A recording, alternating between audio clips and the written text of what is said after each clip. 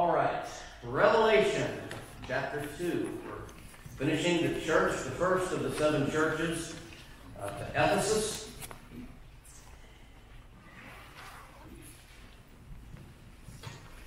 We spoke about the angel of the church.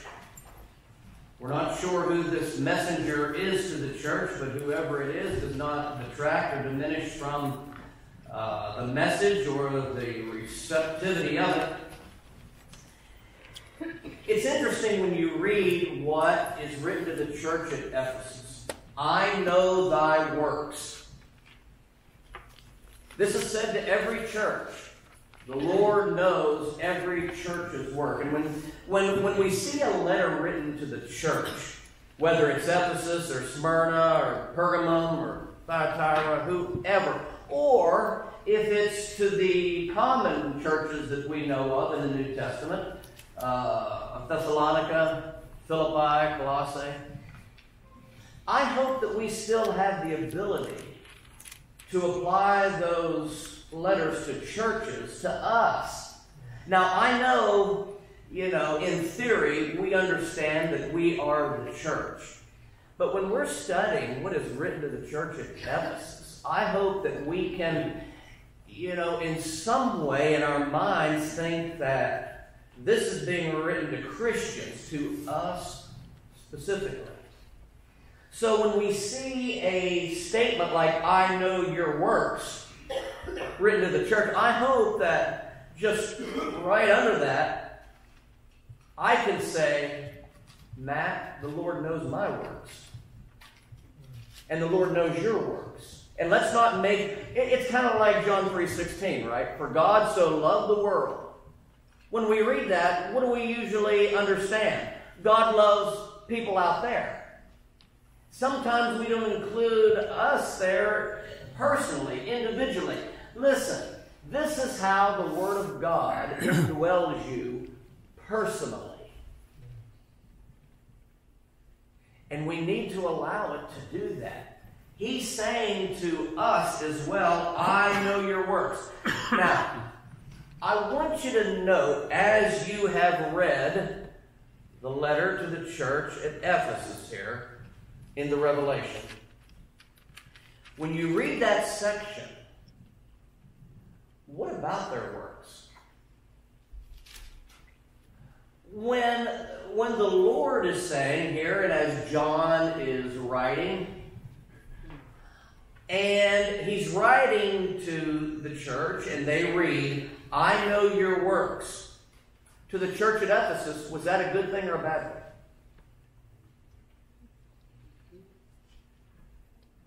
About half and half, wasn't it? That was not a good thing.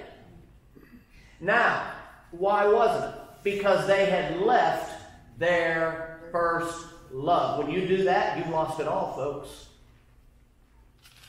If you leave Jesus Christ, you've lost, you've lost it all. You know, you can do some works that might salve a conscience, but if you've left Jesus Christ, and you know, sometimes when we read this, we make this much more difficult than it is. This is not a difficult thing to understand.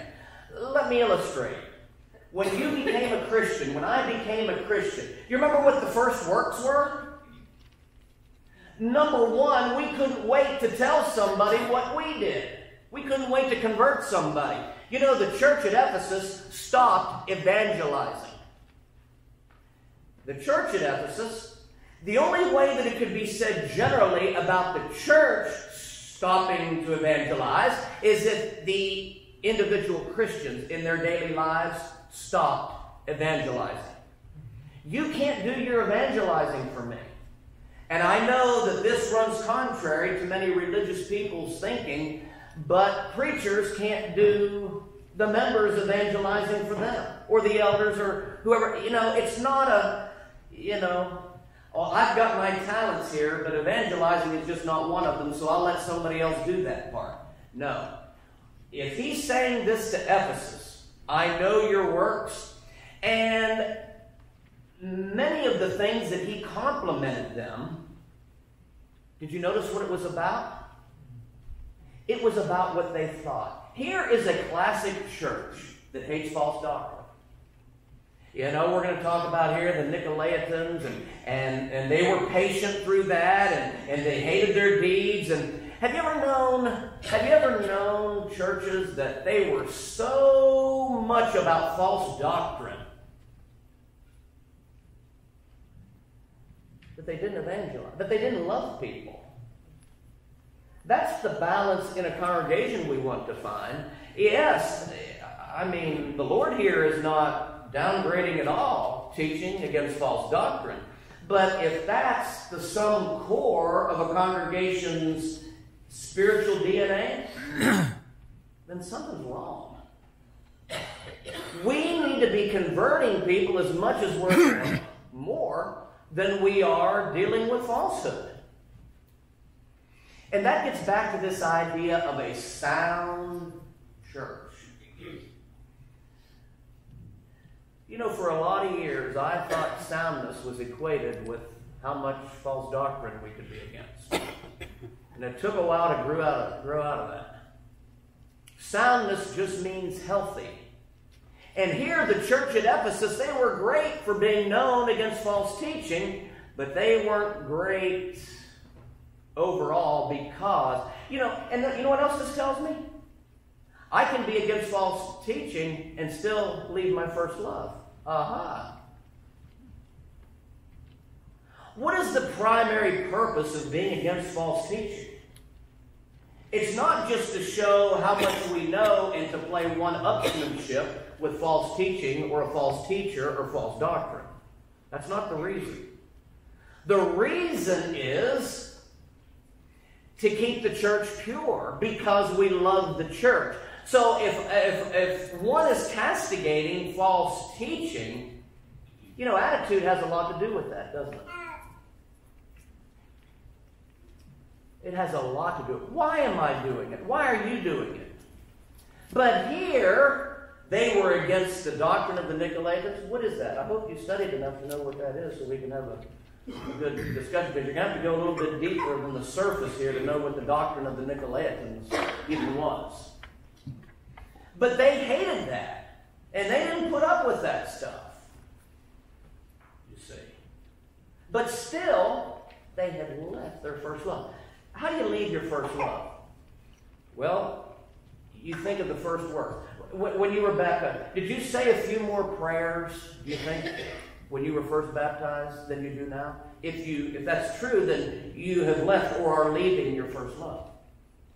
How about reading the scripture? Did you read the Bible more when you first became a Christian than you do now? If, if you do, then you're leaving your first love. You see, those first works, aren't we encouraged to do the first works? When I leave my first love, I leave the first works. And that's what Ephesus was doing. They were, to a large degree, going through the motions.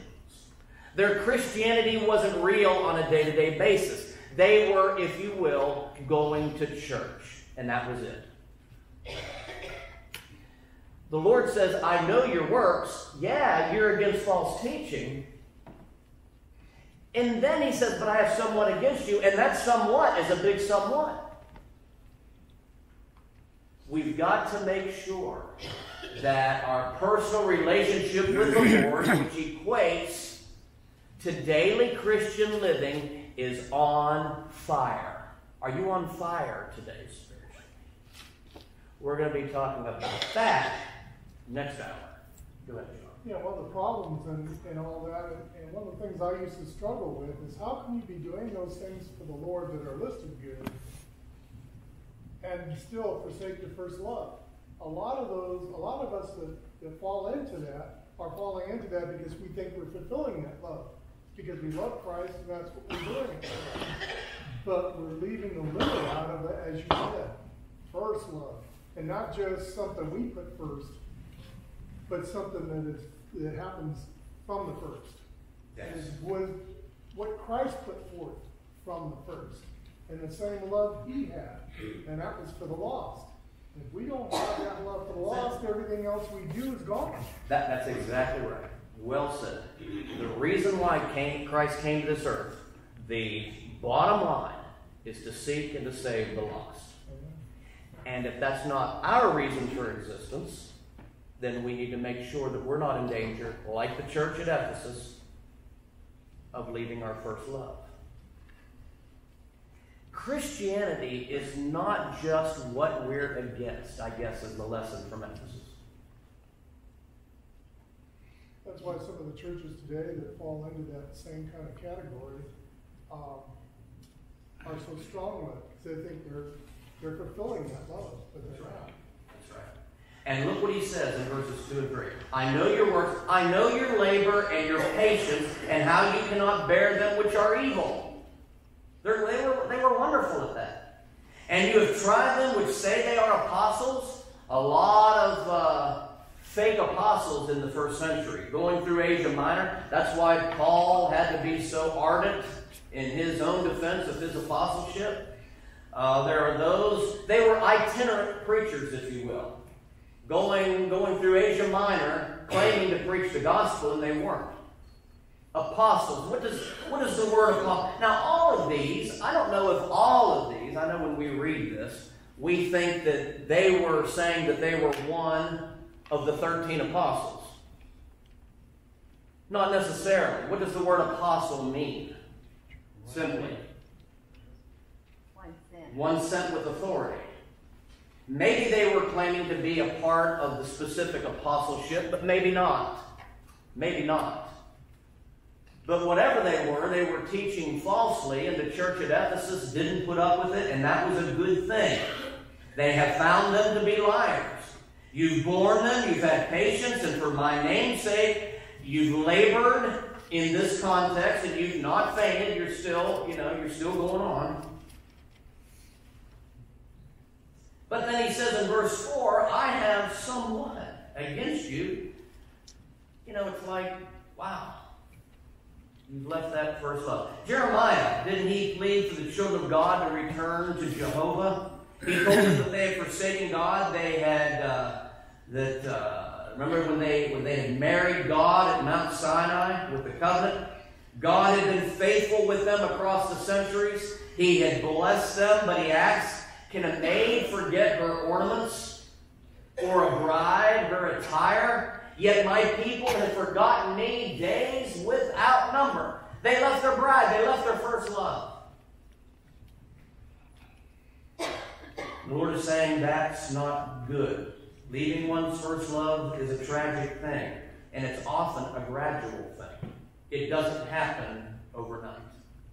And that's why it's so important to talk about these things. Well, some churches are like that. I have visited churches that have a reputation for being sound. And many times I've found them sound, sound asleep. And they're not evangelizing.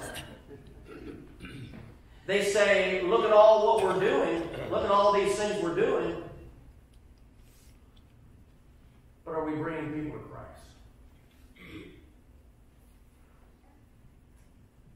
You know what the word Ichabod means? Have you ever heard of Ichabod crane? You know what Ichabod means? Especially in the context in 1 Samuel chapter 4.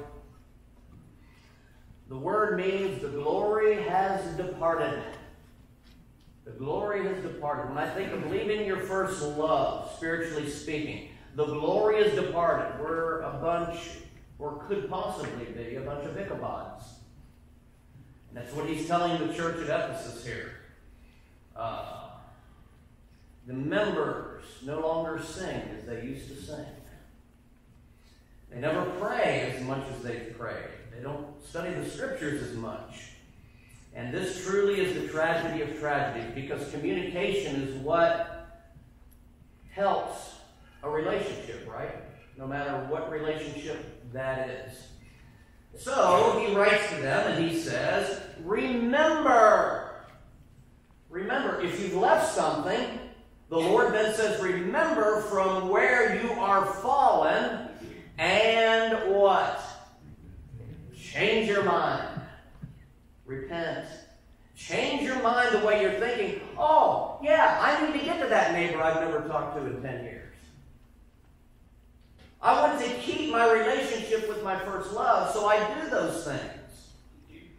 I do not just works, but I've got to remember and go all the way back and do which works? First First works. The first works from when?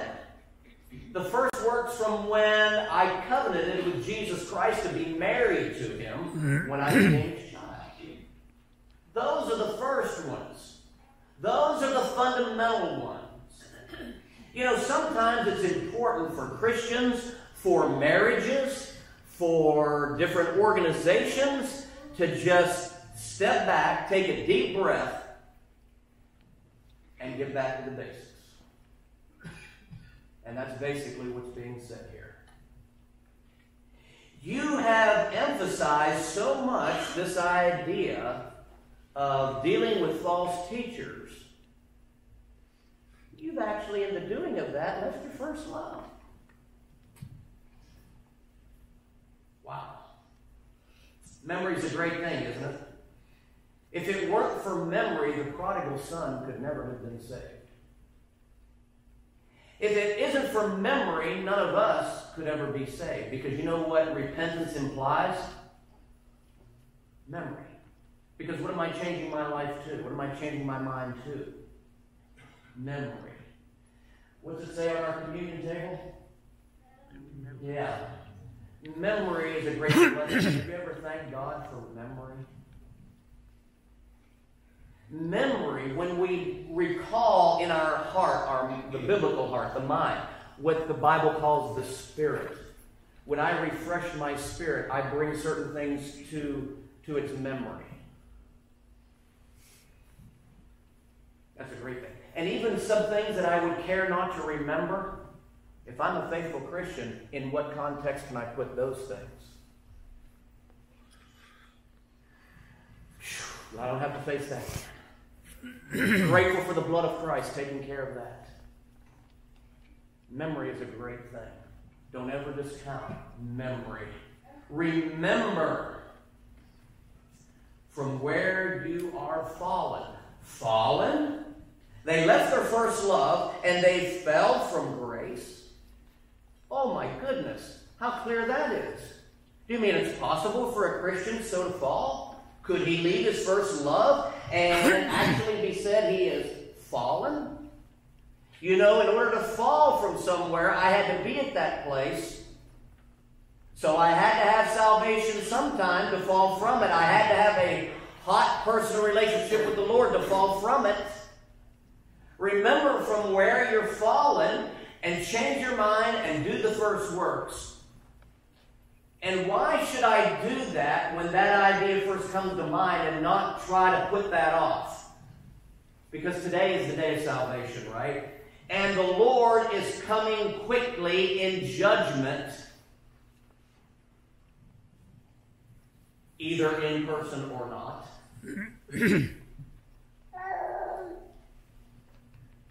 and He's going to remove the candlestick. Now, yes, the initial context is to the church collectively. But can someone here tell us why this would not apply to the Christian individual? The candlestick was the church, local church, and he was going to remove that. That's right. And he can remove it from our individual lives as much as he can remove it from a church. That's an interesting thought that we might want to get into in more detail later on. You know, exactly when and can you tell exactly when? Is it possible to know when a candlestick is removed from a church? Yeah. Because you know, if it were me, I think I would have removed the uh, candlestick at Corinth a lot, lot, a lot sooner than perhaps it was, if it was, with all of those issues. The light goes out, you know it's gone. Yeah, when the light goes out, when it's gone, it's, it's gone. And he'll only be forbearing so long. He'll only be forbearing so long. Absolutely. That's right. But how long he has done it, how long he did that with Israel, and how long he does that with spiritual Israel. But as you said, the light, I mean, we're talking about us, we're supposed to be the light of the world. When that light goes out, as a church, candlestick, there's no need for it, so it's gone. Right. And you're talking spiritual, not physical items. You are the light of the world. If the candlestick, or if we have left the Lord, who is the is the great light, we are to be reflectors of that light. If that leaves, then it's kind of like not only does the light go out, it's like the salt losing its flavor. And we know what the Lord said about salt that loses its flavor. The worthiness of it after that point. Well, but he comes back. He comes back and says, you know, but this you have. You hate the deeds of the Nicolaitans, which I also hate. Well, that's kind of that's kind of clear, isn't it? That's kind of um, abrupt. That's kind of what words do we use there when we have to get on something like that? That doesn't go over real well our time, does it? Hate this teaching. What are you saying? Matt, wouldn't that, wouldn't that go back to the thing, losing your first love? Love is the motivation for reaching out to those that are in error. Yes. And yes. we should show the love instead of the hate for the person. Absolutely. Absolutely. And my mind is taking to situations when fellowship has to be withdrawn. Another point is that I think this shows. That's that a their loving light- act. Their light hasn't gone completely out. You know, it's, they have a certain amount of love. Who's Their light, Ephesus, their, their light hasn't gone completely out. They, they haven't fully forsaken the love completely. They have a love for those that are still trying in any way to change them. And I don't know if that's because they think they're right and they're gonna stick by it right, or whether they really had a love for them, but they were still doing work that was positive for Christ. Well, who were these Nicolaitans? Who were these Nicolaitans? Not a lot here in this context said about them. Most of what we have to uh, derive is from uh, non inspirational sources, the most.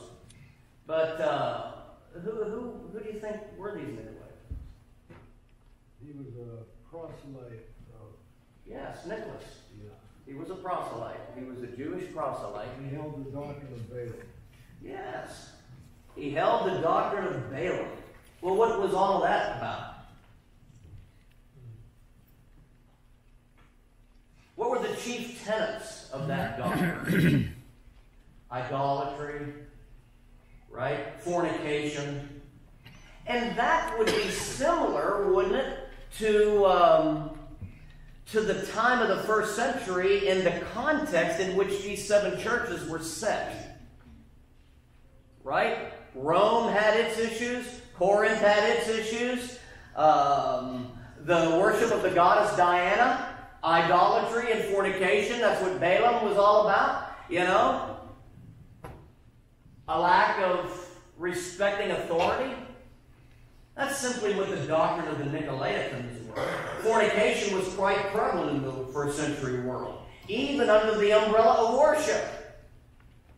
Can you imagine?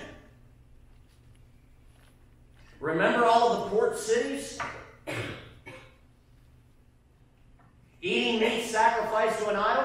Why do you think that takes up so much space in the New Testament? As, in of itself now, a matter of indifference. But some were doing that in worship. And that's what made eating meats offered to the idols wrong and requiring it be done in some cases. This was the doctrine of the Nicolaitans. And they hated that false teaching. And so did the Lord. And the Lord expected it to be dealt with. But not to the neglect of the first principles.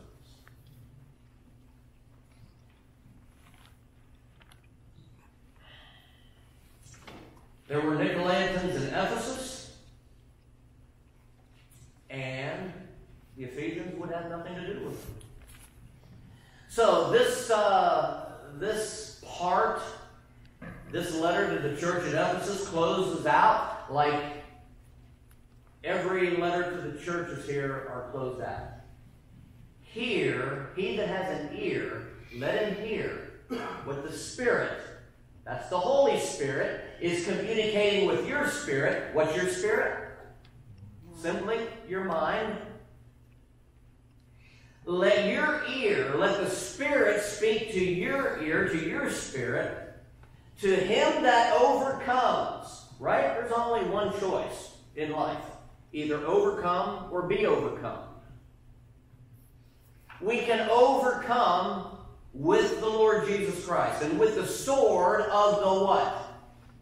Spirit. So hear what the Spirit is saying to the church at Ephesus initially and to the church at Woodstock now.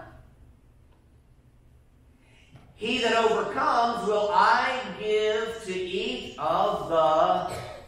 oh, this is interesting. When did we first hear the tree of life? Way back. Way back in Eden. What was the main problem when Adam and Eve were expelled from the garden? What didn't they have access to? Yeah, the tree of life. They chose the other tree. Instead of running and eating from the tree of life, they chose the other tree.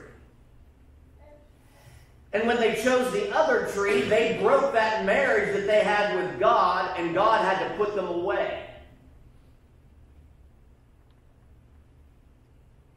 And if they wanted to return to their first love, they could do it. I mean, I'm hoping to see Adam and Eve in heaven. I don't know that I will, but I'm hoping to. Don't know that for sure. Do we? But I hope so. But the same can be said for them. Repent and do the first works. What would the first works for Adam and Eve have been? Respect the authority of God, right? And to love Him enough to do what He says and to keep that relationship. Return to your first love. Do the first works, Adam and Eve, and it could be said for every single person that has sinned since Adam and Eve if they were in covenant relationship with God, right? He's talking to people who, who have had a covenant relationship with God because they left it. Now, the majority of people have never had that relationship that have ever lived. But he's talking about his people here. All right. Him that overcome, I will give eat to the tree of life. And when do we get to the tree of life?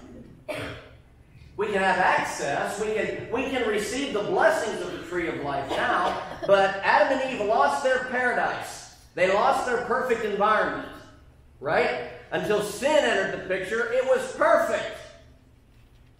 Paradise. Paradise lost. Paradise what? Regained through the cross. We can now come back to our first love.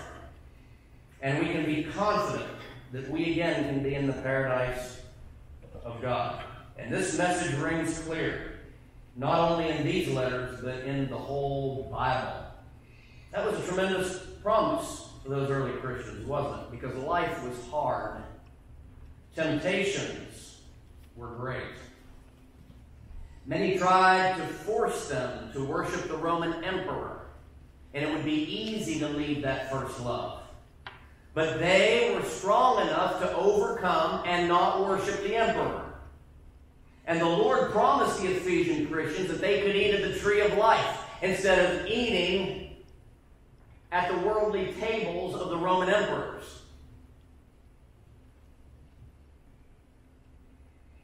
Blessed be the God and Father of our Lord Jesus Christ who has blessed us with all spiritual blessings in heavenly places in Christ.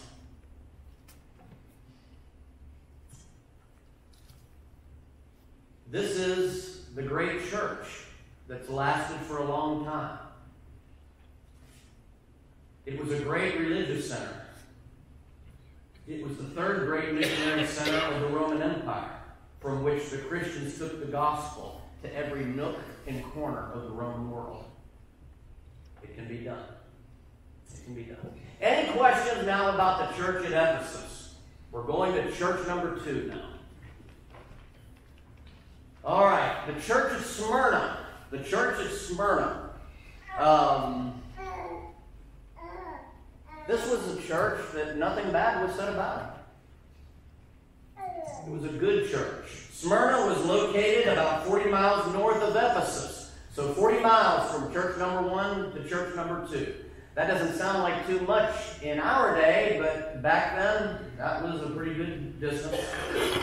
Uh, it was one of the most beautiful and productive harbors of its time. When you thought of Smyrna, you would probably, in our day and time, what would you equate that with? Uh, uh, I don't know. Aspen, Colorado, maybe, but not as mountainous. A beautiful place. Smyrna was, was beautiful. It was on the end of a trade route. Uh oh. It was on the end of a trade route that ran to the north and to the east from Smyrna across central Asia Minor. And it would run to other commercial areas. The land around Smyrna was extremely fertile. The city itself was an important first century Roman city. It always allied itself with Rome.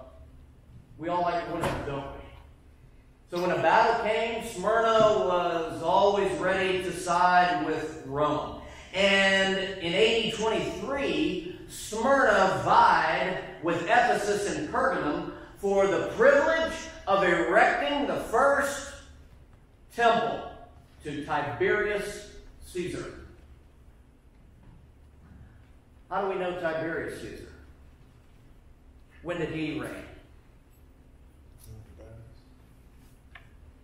Yeah, he was the reigning emperor when Jesus died, wasn't he? Who was the emperor when Jesus was born? Somebody said it. Augustus. Yes. Tiberius was reigning when Jesus died, and Smyrna wanted to erect the first, not the church. You know that, right? The city. Wanted to erect the first temple to him. Smyrna won the contest. And the temple was dedicated to Tiberius, the contemporary emperor, and to his mother Julia. Smyrna, like so many of the cities, was a very religious city. What other city do we remember from the book of Acts when Paul went into it? He said, I perceive that you all are very evil, religious. Who was that? Athens. Yes, Athens. Well, Smyrna was a very religious city, filled with religious people, as was Ephesus. What Diana was to the Ephesians, Dionysius was to the Smyrnans. Dionysius was also known as Bacchus. And he was the god of, guess what? Wine. Wine. What's wine mean in the New Testament usage? Simply what does oinos mean? Oh, we need to know this. What does wine mean? Somebody, great. Yeah, just juice of the grape. That's all wine means in the New Testament. Remember, words have a way of changing meanings? Today, wine doesn't just mean grape juice, does it? It means what they call in Africa, what? Chibuku? Yeah. Chibuku. But Dionysus was the god of wine. And uh, wine was used in many uh, get togethers, moral and immoral. And out of this came a religion. Imagine that. Can you imagine what all has been done in the name of religion? Much of the immorality of Smyrna and the surrounding area came as a result of the worship of not only Diana, but of Dionysius. The imperial cult was also prominent in Smyrna. Many Jews in Smyrna were officers in city affairs. And the city, we're told, had at least one large synagogue. Smyrna had a beautiful city with a golden street that ran from one end of the city to the other. Imagine that. Probably the most beautiful street in the Roman Empire at that time. All roads lead to Rome. The most pretty, the most beautiful, was in Smyrna. The street, and it was just one. By the way, when you sing about heaven and you sing about the streets of gold, you need to take the S off of that word, the NS too. The Bible talks about the street of gold, and there was this street of gold in Smyrna. It had wide streets. On Mount Pagos, it had a theater that seated 30,000 people, which was larger than the theater. We would call them stadiums today, I guess, which is larger than the theater at Ephesus, even though Ephesus was even a bigger and more prominent city. Smyrna was an important city. The Muslim city today of Izmir, Turkey, now stands where ancient Smyrna stood. And so, was that the first bell or the second bell? All right. And so, to the church at Smyrna, the angel.